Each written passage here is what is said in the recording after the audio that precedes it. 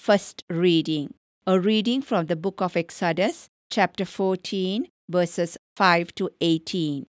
When it was reported to the king of Egypt that the people had fled, Pharaoh and his servants changed their minds about them.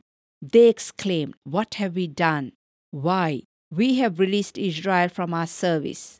So Pharaoh made his chariots ready and mustered his soldiers, 600 first class chariots and all the other chariots of Egypt with warriors on them all. So obstinate had the Lord made Pharaoh that he pursued the children of Israel, even while they were marching away in triumph. The Egyptians then pursued them, Pharaoh's whole army, his horses, chariots, and charioteers, caught up with them as they lay encamped by the sea, at Pihahirot in front of Baal Zephon. Pharaoh was already near when the children of Israel looked up and saw the Egyptians were on the march in pursuit of them. In great fright, they cried out to the Lord, and they complained to Moses Were there no burial places in Egypt that you had to bring us out here to die in the desert? Why did you do this to us? Why did you bring us out of Egypt? Did we not tell you this in Egypt when we said, Leave us alone? Let us serve the Egyptians. Far better for us to be the slaves of the Egyptians than to die in the desert.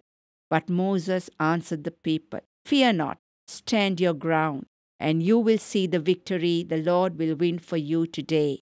These Egyptians whom you see today, you will never see again. The Lord Himself will fight for you. You have only to keep still. Then the Lord said to Moses, Why are you crying out to me? Tell the children of Israel to go forward, and you lift up your staff and with your hand outstretched over the sea, split the sea in two, that the children of Israel may pass through it on dry land. But I will make the Egyptians so obstinate that they will go in after them. Then I will receive glory through Pharaoh and all his army, his chariots and charioteers. The Egyptians shall know that I am the Lord, when I receive glory through Pharaoh and his chariots and charioteers. The word of the Lord. A reading from the Holy Gospel of St. Matthew, chapter 12, verses 38 to 42. Some of the scribes and Pharisees said to Jesus, Teacher, we wish to see a sign from you. He said to them in reply, An evil and unfaithful generation seeks a sign, but no sign will be given it except the sign of Jonah the prophet. Just as Jonah was in the belly of the whale three days and three nights, so will the Son of Man be in the heart of the earth three days and three nights. At the judgment, the men of Nineveh will arise with this generation and condemn it, because they repented at the preaching of Jonah, and there is something greater than Jonah here. At the judgment, the queen of the south will arise with this generation and condemn it, because she came from the ends of the earth to hear the wisdom of Solomon, and there is something greater than Solomon here. This is the gospel of the Lord. Good morning, my dear brothers and sisters. Once again, Lord has given us a new day, and He is inviting all of us to be new, new creation. So, therefore, the Word of God gives us light to begin anew. Dear brothers and sisters, when we go through the liturgy of the Word today, the powerful word we have is sign, sign. Hmm. In the Old Testament, too, we can find there are some prophets like Prophet Elijah, Prophet Samuel, who speak about sign. And uh, uh, uh, King Ahaz was given a sign. Also, dear brothers and sisters, in the Old Testament, we find Pharisees and Sadducees were asking for a sign from Jesus. Hmm? And Jesus Himself is the sign of God's love, my dear brothers and sisters. Yet, Pharisees, Sadducees, all those people fail to realize that Jesus is the sign of God's love. Even in the letter Misericordiae Vultus, Misericordiae Vultus was issued for the year of mercy by, by Holy Father. And in that, it says, Jesus is the face of God's mercy.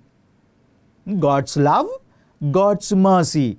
My dear brothers and sisters, St. John in his Gospel, he says not miracles, but Jesus performed signs. The first sign Jesus performed, according to the evangelist John, is the sign he performed, showed at wedding at Cana. The first sign. Dear brothers and sisters, Jesus' signs were different from the signs of the prophets in the Old Testament. Jesus' sign was God's love, God's compassion, God's kindness, and God's mercy. My dear brothers and sisters, even today, there are people who ask us signs and they say, Give us a sign that you are a Christian. Give us a sign you are a. What sign we can give, my dear brothers and sisters? To love one another. Our sign, the sign of love, is all what we can show to say that I am a Christian. Jesus says, as just as I have loved you, love one another, love one another. So therefore, uh, the sign uh, to give to us to prove that we are Christians is to love our own brothers and sisters. And some say, uh, give us a sign that you are religious or you are priest. Give us a sign. Dear brothers and sisters, the religious habit is a sign. Religious habit. We must be signs and bearers of God's love. Hmm? Everyone who has a religious uh, priestly habit uh, or rather religious habit uh, should bear Christ, uh, Christ's love. Hmm?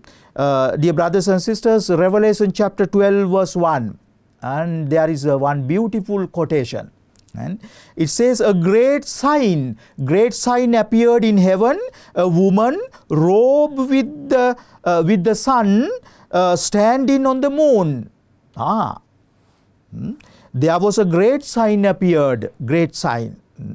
Dear brothers and sisters, uh, Our Lady is a sign our Lady is a sign. Hmm? Through Blessed Mother, uh, we can see Jesus, God's love. And the Blessed Sacrament, Holy Eucharist, is the most powerful sign we have God's presence among us. And the Catholic Church, the sacraments, dear brothers and sisters, we have enough signs. We don't want to ask more signs from Jesus.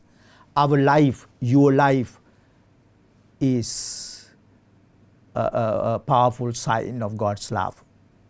And the most powerful sign that we have is on the altar bread and wine turning into Jesus' body and blood, the, the greatest sign, miracle par excellence. Go, go, don't run here and there looking for signs on the roof, on the wall, or anywhere. Dear brothers and sisters, go before the Lord because He is our sign. May God bless you.